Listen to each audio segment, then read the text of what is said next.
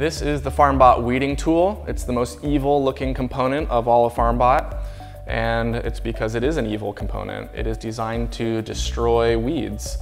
So the way this works is FarmBot will detect weeds with the camera system and then you can configure FarmBot to pick up the weeding tool, move over to the very small infant weeds and smash them and push them under the soil. This is effective because very small infant weeds have a low amount of energy.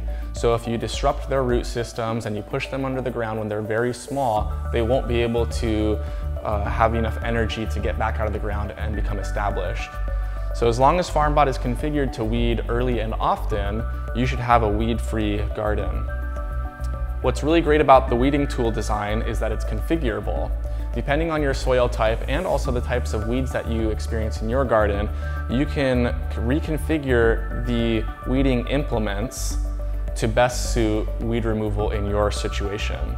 So we've included three of these weeding spikes and one of these weeding blades, and we also encourage you to design your own implements and as long as they have an M3 hole in the bottom, you can mount them onto this weeding tool in a variety of locations.